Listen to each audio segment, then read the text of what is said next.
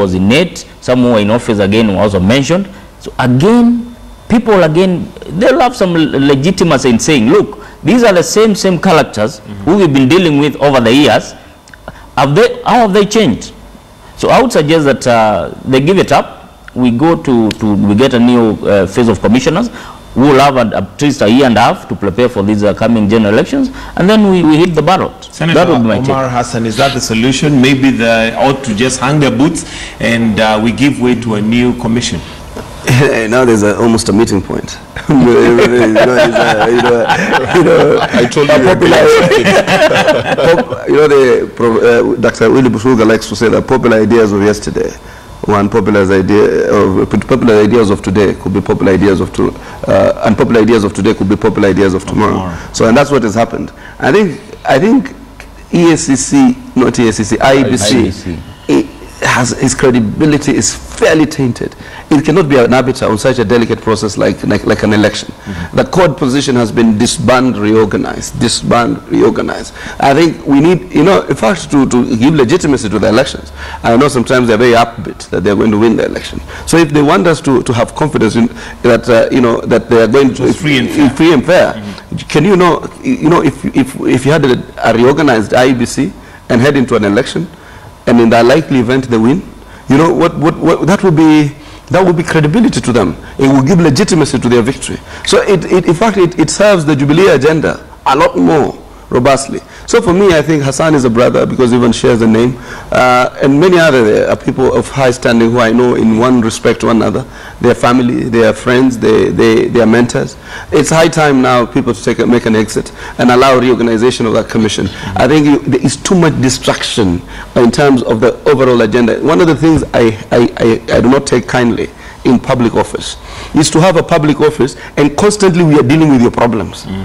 You know, leo sijui umekuwa alleged umefanya hivi like um, unfortunately some of our governors leo kimalizika allegation hii ni allegation hii kiki- so we are constantly uh, dealing with your personal problems. Mm -hmm. Yeah, because and, and that that that that, that It brings this the honor. reputation it of brings the whole honor and discredit. Honorable uh, Kajwang, your take on that is that when will Kenya get to a point where we are politically mature to a point where if your name is dragged, rather th- you, than think you're bigger than the nation or that commission, you just do the honorable thing and step aside? Uh, we are, I'm sure that we'll see that day. Uh, some of us are still young enough, and uh, I believe that day will come. On IBC, I must uh, say that there are some good people within that uh, commission. It is unfair to say that everyone at IBC is uh, a rotten egg. But collectively, you should not even be talking about Caesar's wife when referring to IBC. IBC reminds me of Brutus, he of a lean and mean expression who ultimately uh, killed uh, Caesar. Because IBC has been a hatchet man for the executive uh, and, and in, in the last elections, and we expect that that is not going to change in the next elections. When we say that this time round we are not going to accept stolen elections, elections are not stolen only on the election day. Elections are stolen much, much earlier. They are stolen through procurement uh, uh, issues, which have given uh, rise to things like chicken gate. They are stolen through voter registration when it is skewed or when it is done with inadequate uh, resources, like it is being done currently. They are stolen through disenfranchisement of, of, of voters. By the way, uh, for your information, as we speak, there could be 2 million Kenyans who have been disenfranchised because they were registered using the old generation IDs in the last uh, uh, general election. And what the National Registration Bureau has done is to de-gazette all those 2 million old generation IDs. That means that uh, the NRB has effectively said that 2 million Kenyans are not Kenyans because if your ID is degazetted, then you really are not a Kenyan. And that means that 2 million people come out of the voters register. Today, we are struggling to put 4 million new Kenyans onto the voter register in this ongoing exercise. But NRB, by a stroke of one gazette notice, has removed 2 million Kenyans out of that register. So elections are stolen through such acts of omission or commission. Sometimes I tend to wonder whether the IBC is truly incompetent or that incompetence is a facade to hide a lot of complicated uh, things in the background. We recently talked about uh, NYS uh, using BVR devices from uh, IBC. And it is a fact which was confirmed by the chairman of IBC when I was with him in a meeting alongside other CORD uh, principals. You start asking yourself, why would IBC give NYS BVR devices at this point in time?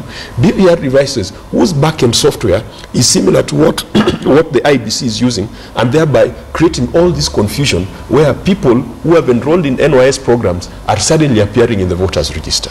I think we must get to a point where we say that the team that is currently running the IBC is tainted beyond redemption. The argument for their disbandment should not even be the technicalities of the runoff. It should be the realities of integrity. It should be the realities of incompetence. It should be the realities of things like chicken gate, which should then allow us to sit down and say, you know, this is not a referee that is uh, good enough to adjudicate uh, the next Okay, election. Honorable Njagagua, what do we need to do for that process to begin or what needs to be done? Because evidently it seems like you're in agreement, which is normally rare, but uh, it's a good thing, I guess, in regards to IBC. So what needs to be done for that process to Kenyans, kick off? Kenyans can demand of it. Uh, we leadership can come to, to the meeting of our leadership, the CORD Brigade and the Jubilee, they can sit and agree that uh, since all, all these uh, commissioners were actually appointed by both CORD and Jubilee, I think Laila had his people there, the- the- his, his party nominated some of them, the Jubilee party nominated some. So they can agree and say, look, gentlemen, this IBC is not serving all of us as we wish. Let us uh, terminate their term, let, that, let us pay them, and then again, we, we, the the parties again appoint others. Or the Kenyans themselves. Kenyans, uh, by, by virtue of this constitution, can demand that uh, let, let the IBC commissioners. All right, Or, final or, or, comments, uh, or do the, the usual flimsy things you guys do, where you somebody takes a petition to the Final president. comments. that is not That is not flimsy. That is Look, that- that the is- way you bundled out the I, that uh, the due. ESC, That is and that how you have you have gone from the navigated. table. That is not you, flimsy. you know what you do. You That look, not you look for flimsy.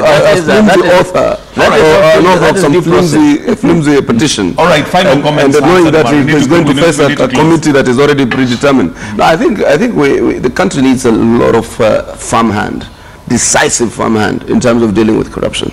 And I, I'm telling the Kenyan people that part of we, we also need to interrogate this problem deeply. Don't vote uh, the kings of uh, looting into into pos- positions of public. People who capture the state to steal from you. People who capture the state to build their business and other and, and financial empires. People who capture the state for the preserve of a few. You need to start now looking at uh, inter- interrogating your long-term interest and allowing a value-based, uh, agenda-based politics. All right, thank you very much, gentlemen. Let me just reread some of the comments that have been coming through. Ashikoy says, why can't the legislator enact laws that will make commissions part uh, and time uh, part-time and reduce the number of commissioners? Uh, we also have uh, Light uh, FM in, in Limuru who says Hassan Omar is giving very decisive views. Thank you very much. We have Tony Kags who says, I agree, corruption-free Kenya. The panel today is stating facts. The problem is we talk but no action. We have James Crop, I'll read this as the last one. Then the president always lights a fire and sits behind to watch the effects. He needs to act decisively on graft. Thank you very much, gentlemen. Hassan Omar, Senator for Mombasa County. Uh, Moses Kajwang, who is Senator for Homa Bay. And last but not least, uh, Muriuki Njagagua, who is uh, the MP from Mbeere North. Uh, thank you for uh, putting it the way it is uh, right here on Morning Express. This is where we're going to wind it up. Do stay with us. We've got News Hour coming up next.